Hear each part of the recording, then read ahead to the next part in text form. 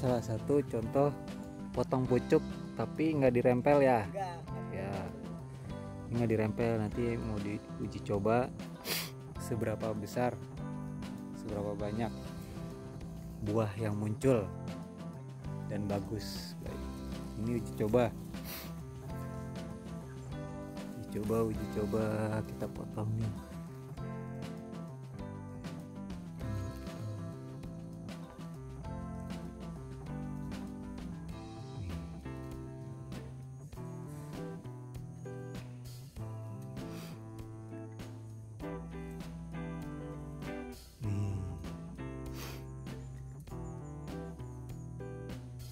Ini enggak dirempel tapi potong pucuk ya Mbak ya namanya. Pangkas atas. Coba. Yang dipotong cuma satu Mbak. Eh?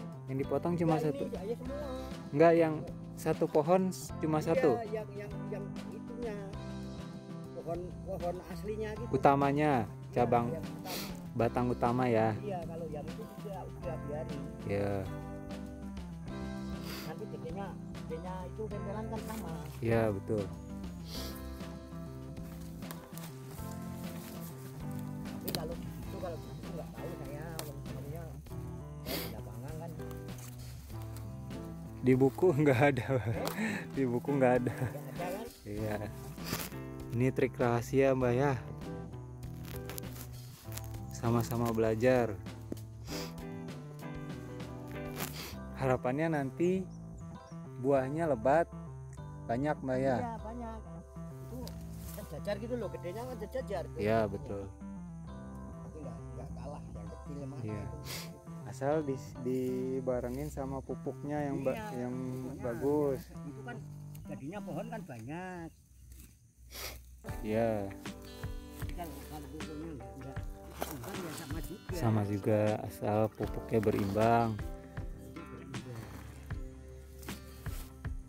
terus semprot hamanya juga yang baik. Jadi nanti hasilnya pun juga pasti baik. Kalau ini ini satu satu itu kita kasih dua. Gimana mbah? Nah ini sama ini kan dua semua. Oh iya iya betul betul. Kasih dua Pohon ini trik baru lagi. Iya. Satu lubang dua pohon. Nih. Nanti nanti kan dirempel kalau gitu. Kalau yang ini nanti dirempel. Kalau yang ini potong pucuk tapi satu pohon. Kalau ini dua pohon satu lubang dirempel ya mbah. Oke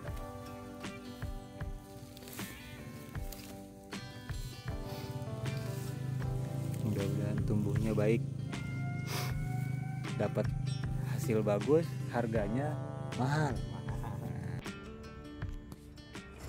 Oke ini hasil penantian selama tujuh minggu setelah eh, potong pucuk ya. Kita bisa lihat nih yang dipelihara itu sekitar ada 3 sampai 4 cabang nah ini salah satunya cabang yang pertama dia sudah muncul ada sekitar 6 atau 7 buah dan ini juga cabangnya juga keluar lebih banyak lagi daripada yang pertama gitu. Jadi batangnya juga kokoh dan juga di atasnya itu kita potong pucuk sehingga tidak terbentuk cabang Y.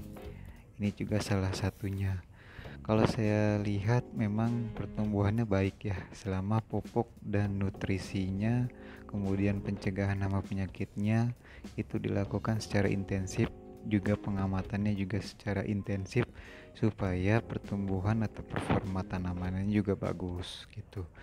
Pupukannya sebenarnya hanya NPK kemudian pupuk dasarnya waktu pertama kali olahan itu ada Ponska kemudian ada eh, pupuk tambahan yang lainnya juga pupuk dasarnya. Jadi semua tercukupi nutrisi tanahnya.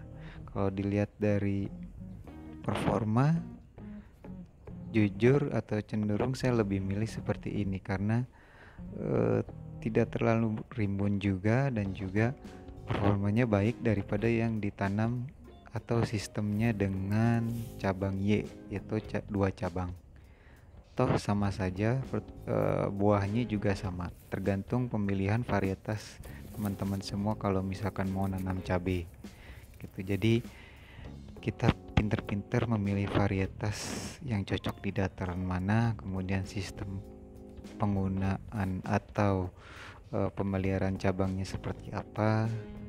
Jadi yang cocok dengan teman-teman itu seperti apa. Jadi ini cenderung lebih baik pembuahannya jumlahnya juga baik. Kemudian diharapkan bobot buahnya juga akan lebih baik.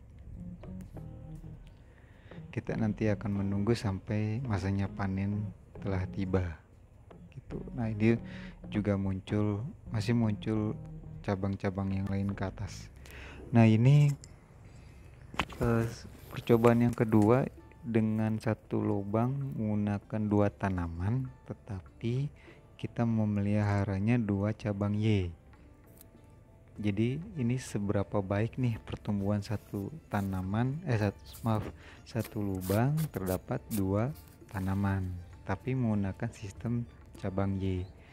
Ini sama saja berumurnya eh, tujuh minggu setelah tanam dan dilihat memang performanya sama saja baik ya tapi kita nanti melihat potensi satu pohonnya itu dapat berapa kilo. Nanti kita kalkulasi uh, saya dengan tim mudah-mudahan bisa kekejar ya bobotnya uh, melihat rimbunnya seperti ini. Jadi terlihat bagus dengan satu lubang dipelihara dua tanaman tapi dengan sistem cabang Y kalau misalkan dengan sistem potong pucuk kemungkinan akan lebih lebat lagi.